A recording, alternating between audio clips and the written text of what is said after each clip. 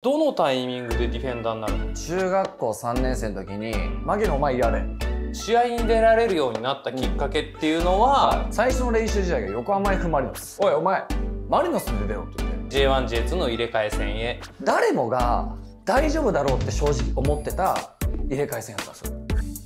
皆さんこんにちは、えー本日はこの方が来てくれています。ヴィッセル神戸の。はい牧野智之さんです。ちょっと髪切りいやちょっと噛んだねとめあきって。智明さんですなかなか言いづらい。なかなか言いづらい。もうでもねねん？ヴィッセル神戸って違和感あるでしょ？違和感ちょっとあるね。俺最初実はあの向こうにえっとスーツの採寸とユニフォームのサイズチェックにうん。一回神戸にもう行ったんですよ、うんうん。で行った時にチームメイト名前言ってくださいって言われた時にあの言えなくてなんか緊張してうん。慣れてなくてうん。で噛むしうん。ビビビッセル神戸のって言った時に あ俺ビッセル神戸なんだって思って。だから今こうやって紹介を受けた時にまたドキンってしてまだちょっとこうユニフォームに袖通してないしまだ時間も経ってないから。そっか。そう。あのーでもさうん。最後に会ったのってうん。12月？うん。中旬？中旬か。はい。天皇杯のあの決勝の前でしょ？おおはいはいはい。まあそれからね時間も経ってでもその間には天皇杯の優勝を決めて、はい。何あのゴール？何だったのあれ、何なんですかね？でもあのゴールって偶然取れたものじゃなくて、まあ練習終わった後に、まあ、ずーっとシュート練習してきたし、うんうんいろんなシチュエーション考えていろんなシュート練習してきた賜物がああいうのにつながったのかなってものすごく今でも思ってるし監督にはふざけてまたお前シュート練習してんのか？遊びじゃねえんだぞって言われてきて何年も何回もやり続けた結果がああいうのになったからやっぱ練習嘘つかないなと思いました。なるほどねあの牧野さんの、はい。まあ、まだサッカー史って言ってもね、これからも続いていくものですけど、まあ、ここまでサッカー史を、いうん、まあ、振り返っていただきたいんですけどなかなかないっすよ本当に。ねうん。2000年広島のジュニアユースには入る。い、うわすごいところから。でしょ？はいはい。これきっかけは何だったまああの自分でも足が速いと思ってたし、うん。誰よりも技術があると思ったし、ん。一番その町でうまい子だと思ってたんで。お親物大賞そうですもうお山の大将で試合ででも点取れるし、う負けないし、うん。俺が一番うまいんだって思ってたのがもう中学校3年生ぐらいまでだったんで、まあ、僕が広島の町で生まれた育ったってことでトップチームが、ね、サンフレッチェがあるってことで、うんうんうんうんあ僕は必ずこのトップチームに行きたい。じゃあ行くためにはどうしたらいいんだ、うん。うんってとこでそのアカデミーの話を聞いて、まあそこに入ろうって思ったのが最初だし話がねもう小学校5年生ぐらいの時に来て。はい、で6年生の時からもうジュニアユースの試合に僕出てました。えー、でその時はフォワード。もうフォワードです。こんないや全然タイプ違って。どちらかというと体も細いし背もちっちゃい子でしょ。だからスえー。ピードで勝負するようなタイプ、そ あそう。うそうそういうタイプでやってましたずっと。えー、でそれでフォワードで入ったけど、どのタイミングでディフェンダーになるの？それがまた面白いのが中学校3年生の時にうん。ディフェンダーの選手が怪我しました。うん。で怪我して最後の大会の時にディフェンダーをやる選手がいない。でその監督から「うーん元気があって声出せるやつ誰かな？牧野お前やれ」みたいなえでもその時はフォワードでエースなわけでしょ？そうそうなんでか知んないですけどその時悪い気はしなかったんですよ。で練習試合でゼロに抑えたり自分がディフェンダーをやった時に新しい感覚のサッカー感を知ってしまって面白い。えでそこからです。ー、フォワードはその後やらなかったの？やってないです。でもどこかで俺このままいったらあの埋もれるって思ってた正直。へーこのままやっても体格的にもそうだし自分のフォワードとしてる武器っていうのが通用しなくなってた時でもあったんで自分がなりたいプロ選手自分がなりたいフォワード像には近づけないなと思ってた時だったんで逆に良かったですで、まあ、ユース在籍時三大大会はいの全てで決勝戦に進出して、チームの2冠達成したんでしょ？調べてる、で広島ユースってさはめちゃくちゃ強かったじゃん。い、めちゃくちゃ強かったです、はい。それはなんで？強さの秘訣みたいなのあったの？まあ、一つはこの時代どこのチームもやってないまず全寮制システムをやってたっていうのがまず一つの、お強くなった秘訣だと思うんですね。広島ユースは当時は中学校3年生からもう転校させて山奥に寮を建ててみんなでそこに住み込むっていうのをやったんですよ。何もすることがない場所にね。そうですよ。コンビニ一つないですからねで門限が夕方の4時でしたその時。でけ携帯 携帯もない。携帯もない。夕方4時？夕方4時ですよ。だからオフの日学校行って、うん。ちょっとスースーパーが1個あるんですけどスーパーで買い物しても帰ってくるだけですね、そういう生活3年間やってましたから。まあでもさそれがそれが強い秘訣なのかな。集中するってこうとんそうっすね。でもやってるサッカーだってさ選手だってすごかったじゃん。すごいしでもこれサッカーっていうサッカーは教えてもらってないんですよ。3年間。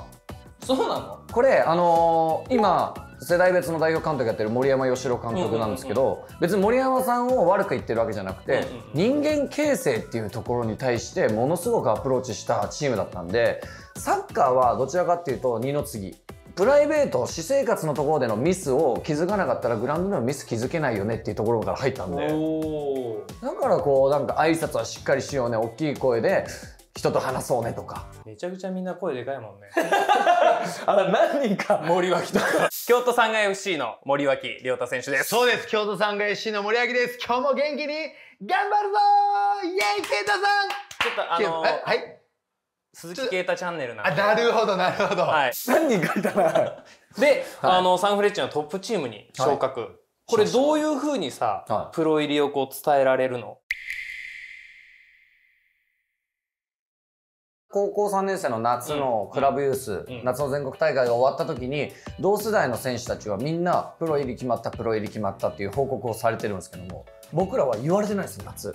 で、うん。あもうトップ昇格ないなって思ってた時に秋の高円宮杯っていう大会があるんですけども、その大会が終わって寮に、えっと、その強化部長トップチームの強化部長が来てて、うん。ちょっとお話がいいかっていうところでそこで初めて。だから秋ですね高校3年生のじゃあそのトップチームのは強化部長が待ってた時に、ん。来たなって思った？いやーやっとって感じでしたよ。あそう。えそれは広島ユースの選手全員？えっ、と僕とお当時の同期の柏木ですね。ただこういう言い方もないですけど僕あの高校1年生の時からサテライトリーグ出てたんでどこかプロには引っかかるだろうなって思いはちょっとありましたけどいざそうやって対面で紙を出されたって時は今でも忘れないですね。でもやっぱ広島のトップチームに上がりたかったわけでしょ？上がりたかったです。他のチームじゃなくてね、はい。で加入した年の途中からうんうん。ペトロビッチ監督が就任するわけだけど、はい。まあその最初来た時の印象とかうん。覚えてる、僕が当時のお入った時は、うん。小野武監督。小野さんだ。はい小野武監俺もユー督スでやってるからね、武さん。うん。ー。あの武さんコーチで、ペトロビッチ監督が来る前に、うん。小野武さんのちょっと話していいですか？めちゃくちゃ嘘だろって話なんですけど僕ねあの広島ユースがトップチーム上がった時に、うん。トップチームのセンターバックが7人いたんですよ。僕が入って8人目なんですね。その時が、えっと、システム442やってた4の真ん中2枚ってこと考えたら、えあと6人出れないじゃん。うん。これ俺トップチーム上がっても意味あんのかなってところがまあサインして入ったんですけど、うん。入団会見してそのまま宮崎キャンプ行ったんですけど、うん最初の練習試合が横浜 F・ マリノス、おういいやセンターバック8人いる。う。ん練習試合もう出る選手もいないから「おいお前マリノスで出ろ」って言って俺入団会見してそのままマリノスのユニフォーム着て サンフレッチェ相手にマリノスのユニフォーム着てるんですよ。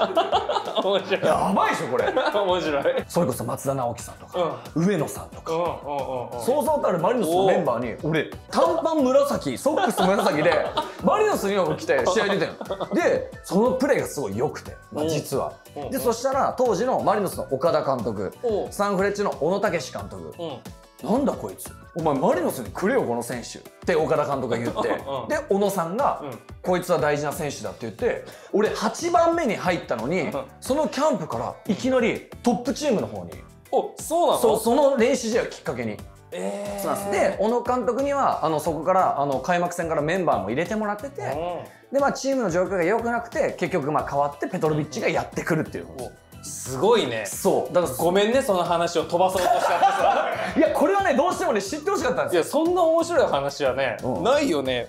これ伏線張ってるんで実は。おそこで岡田監督との出会いがある僕おもうね、はい。プロみたいな喋り。も